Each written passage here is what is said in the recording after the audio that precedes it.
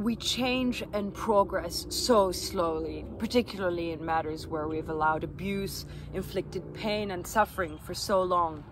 This is because fear-inducing dividing methods are more profitable to governments and we are more easily controlled this way. So being an Armenian, it's sadly very easy for me to hate the Turkish government and even Turkish people. But today, on the Memorial Day of Armenian Genocide, I wish to celebrate the memory of a Turkish woman who saved my grandmother's life during the genocide and who's therefore partially responsible for my existence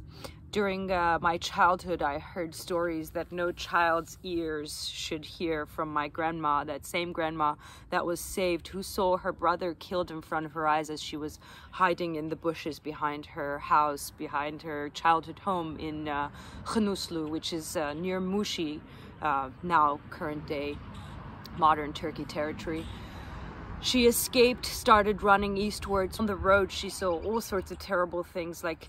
men from two, three villages being buried live underground, letting only their heads stick out, and then Turkish soldiers would whip camels and make them angry, and then later let them run and trample over the heads of these live Armenian men while making their wives watch their husbands and young sons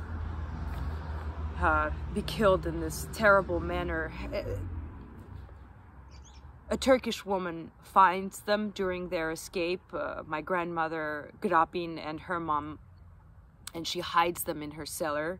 feeds them bread and water for about seven days, and then tells them the safest time for them to continue to escape eastwards, where they finally arrive in current day Armenia, where later, two generations later, I was born. Uh, morality has nothing to do with religion as many institutions would have you believe. I want to celebrate this woman's courage and morality, and I want to encourage the good people of Turkey in particular to finally be rid of this terrible